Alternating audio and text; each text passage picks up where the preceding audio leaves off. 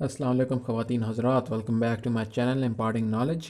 और आज हम इस्लामियात का अपना सेकेंड लेक्चर स्टार्ट करने लगे हैं सी एस एस क्या और आज का जो टॉपिक है, वो है इम्पोर्टेंस ऑफ़ दीन इन ह्यूमन लाइफ, ठीक है?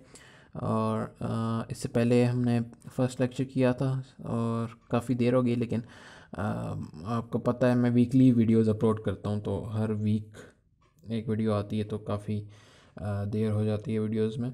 तो एनी सॉरी अबाउट दैट लेकिन अगर आप न्यू सब्सक्राइबर हैं तो मैं आपको बताता चलूँ कि इस वीडियो इस चैनल पे ऑलरेडी काफ़ी वीडियोस मौजूद हैं। गाइडेंस सीरीज़ है एक सी के ऊपर, फिर उसके अलावा आईआर की पूरी लेक्चर सीरीज़ है हमारी, फिर इस्लामियत की ये लेक्चर सीरीज़ है, इसका सेकंड लेक्चर है और ये इन चलता रहेगा।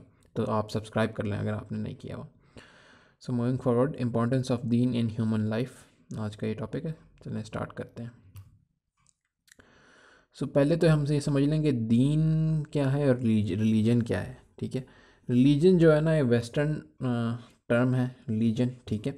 और रिलीजन जो वेस्ट मानता है रिलीजन को जो मज़हब को कहता है वो उसको कहते हैं रिलीजन। तो वेस्ट जो है रिलीजन को कहता है कि जो रिलीजन है वो पर्सनल मैटर है मैटर है मतलब जो इंडिविजुअल की जो लाइफ है ना वो वो हो सकती है रिलीजन के इर्द गिर्द लेकिन जो स्टेट होती है, जो कंट्री होती है, जो बाकी चीज़ें होती हैं इंडिविजुअल के बाहर इकॉनमी हो गई या लेन देन ट्रेड जो भी सारी चीज़ें हैं, वो उसके, वो जो चीज़ें होंगी, वो रिलीजन डिफ़ाइन नहीं करेगा, वो इंसान ख़ुद डिफ़ाइन करेगा या कंट्री डिफ़ाइन करेगी।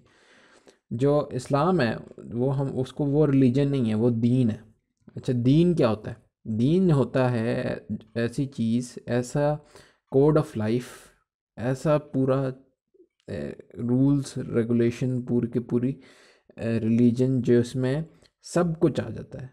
सब कुछ, इंसान का उठना, बैठना, हिलना जुलना इकॉनमी स्टेट किस तरह रन करेगी, चीज़ें किस तरह होंगी ट्रेड किस तरह होंगी, सारी चीज़ें आ जाती हैं, ठीक है?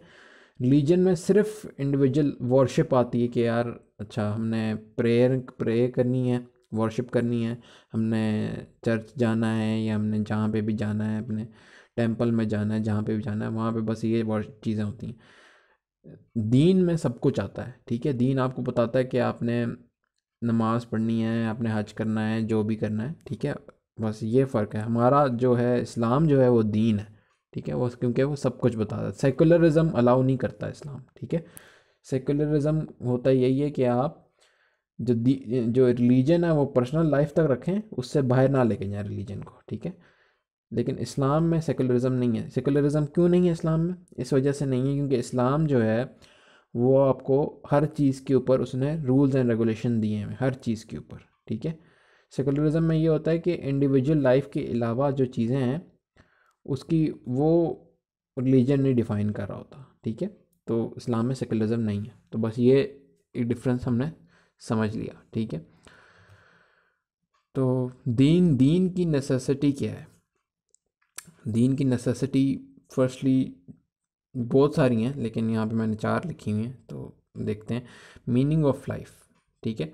इंसान जो है, जब इंसान जब जब उसने पहला इंसान आया था, फिर पहले जो इंसान होते थे शुरू शुरू में, और वो इग्नोरेंस में रहते थे, ठीक है? उन्हें नहीं पता था। लेकिन उनकी जो नीड थी, उनके जो जहन में सवाल आता है, वो ये आता है कि यार, इस ज़िंदगी का मकसद क्या है? आप अगर, आप भी अगर ख़ुद हैं, आप अगर सोचें अपने आप से तो आपने कभी ना कभी अपनी ज़िंदगी में अपने आप से ये सवाल किया होगा कि ज़िंदगी का मकसद क्या है? मैं इधर क्यों पैदा हुआ हूँ? मैं क्या कर रहा हूँ? मेरा मकसद क्या है?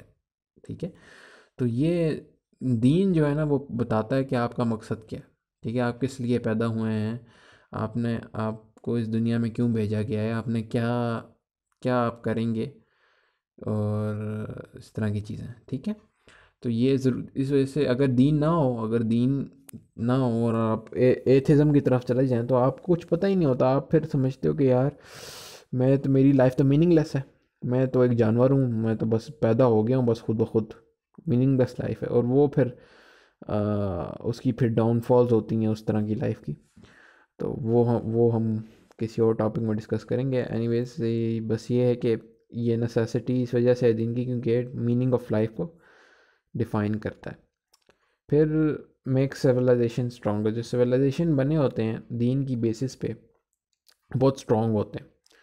अच्छा सिविलाइजेशन अगर आप हिस्ट्री उठा के देखें ना सिविलाइजेशन जो हैं, बहुत सारी चीज़ें दरकार होती हैं सिविलाइजेशन को, बहुत सारी रूल्स एंड रेगुलेशन चाहिए होते हैं। और अगर दीन की बेसिस पे बना हो ना सिविलाइजेशन तो बहुत बहुत स्ट्रॉन्ग होता है सिविलाइजेशन। उसकी वजह ये क्योंकि दीन आपको बता देता है। बहुत परफेक्ट रूल्स बता रहा होता है। दीन, इस्लाम जो है, वो उसने डिफ़ाइन की हुई है चीज़ें।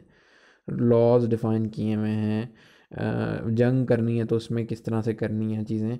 ट्रेड किस तरह से होगी? लेन देन किस तरह से होगा? डाइवोर्सेस किस तरह से होंगी? मैरिजेस किस तरह से होंगी? और, बंटवारा किस तरह से होगा? जायदाद का ये सारी चीज़ें क्योंकि डिफ़ाइंड हैं इस्लाम में।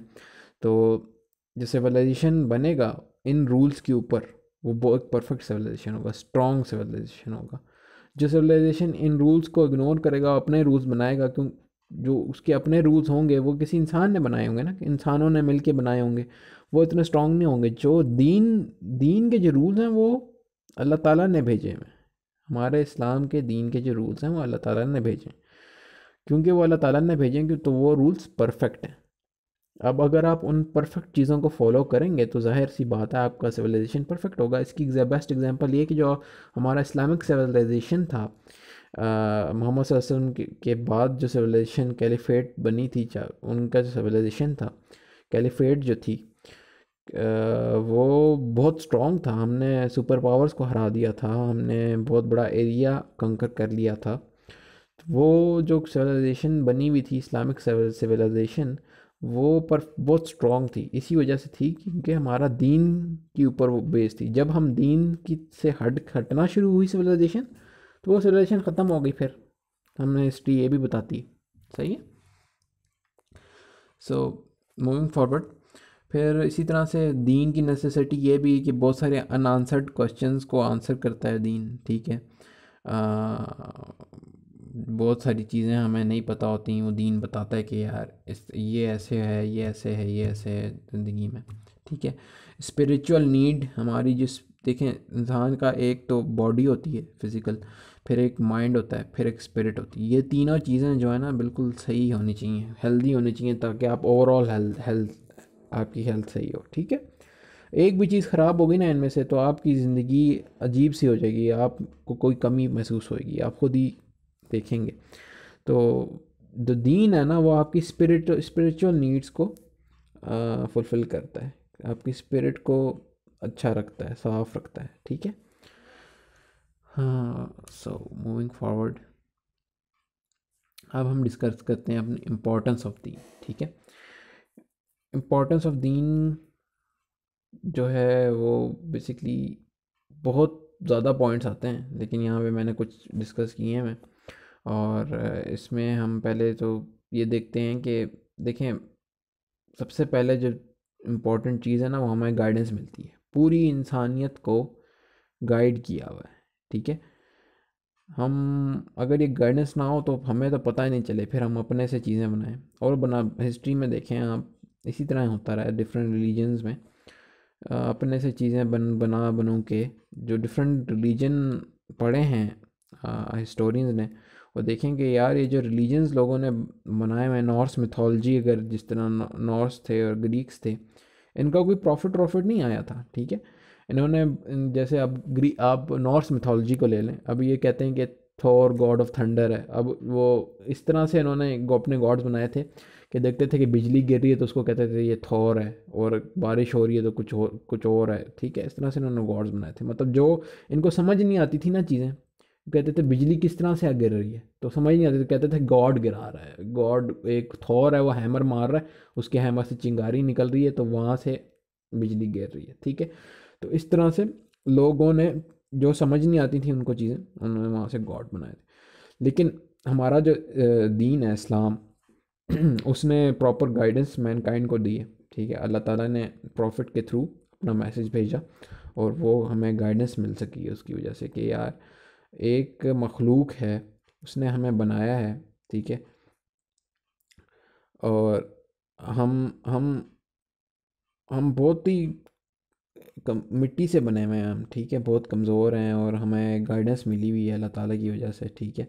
और आ, ये सारी जो चीज़ें हैं कायनात है ये किस तरह हमारे लिए अल्लाह ताला ने बनाई है ताकि हम इसमें रह सकें ठीक है?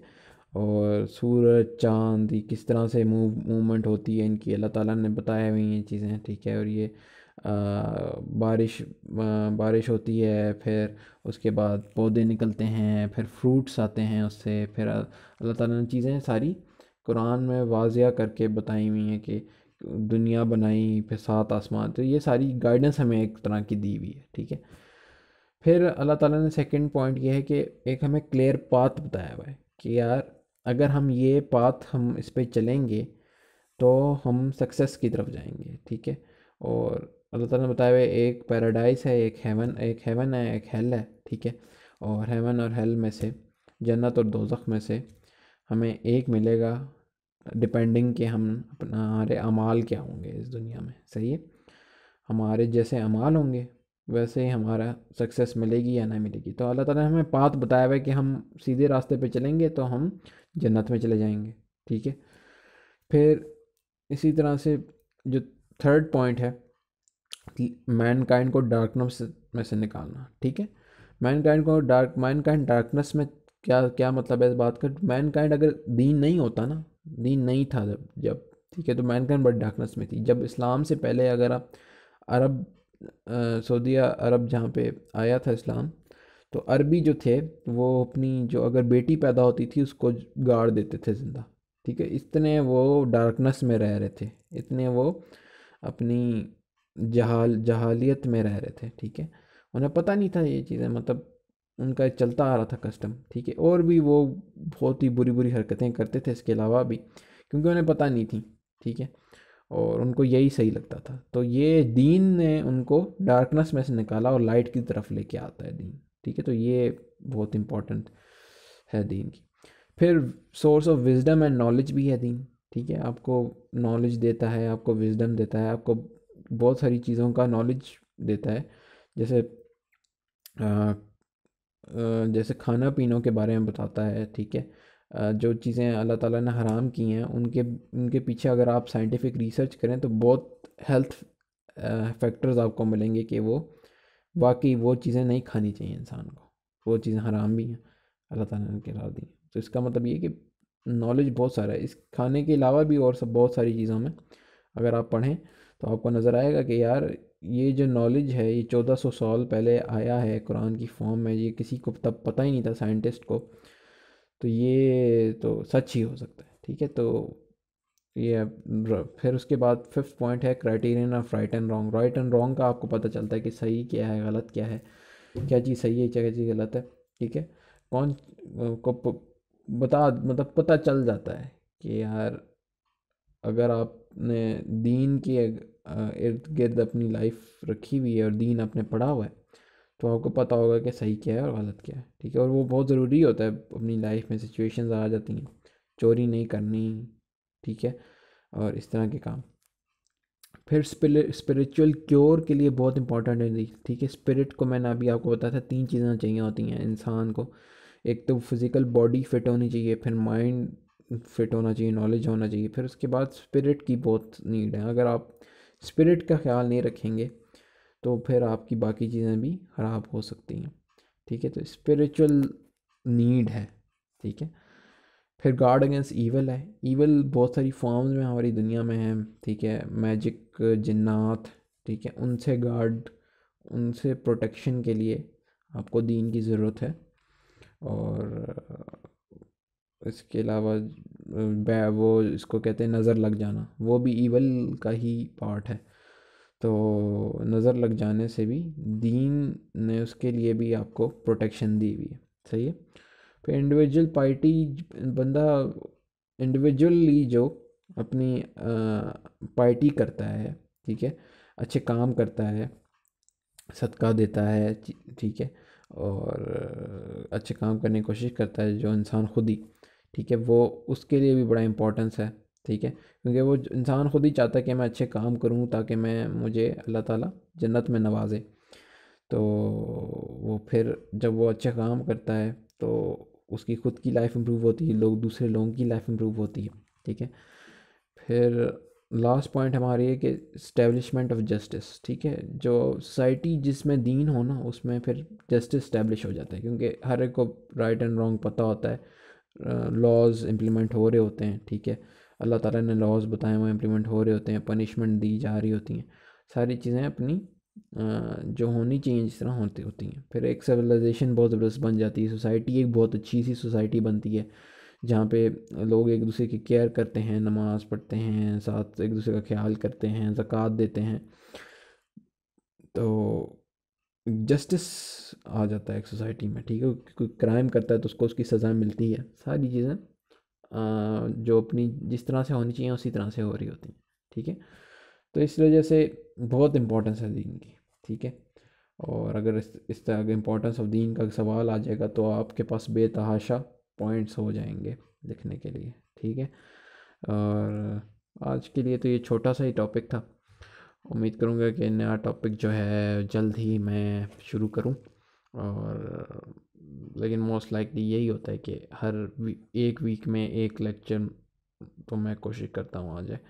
तो thank you very much like करें शेयर करें सब्सक्राइब करें अपने दोस्तों को भी बताएँ इस चैनल के बारे में। और तैयारी करते रहें। कोई सवाल हैं तो कमेंट्स में आप पूछ सकते हैं। और थैंक यू मच एंड अल्लाह हाफिज़।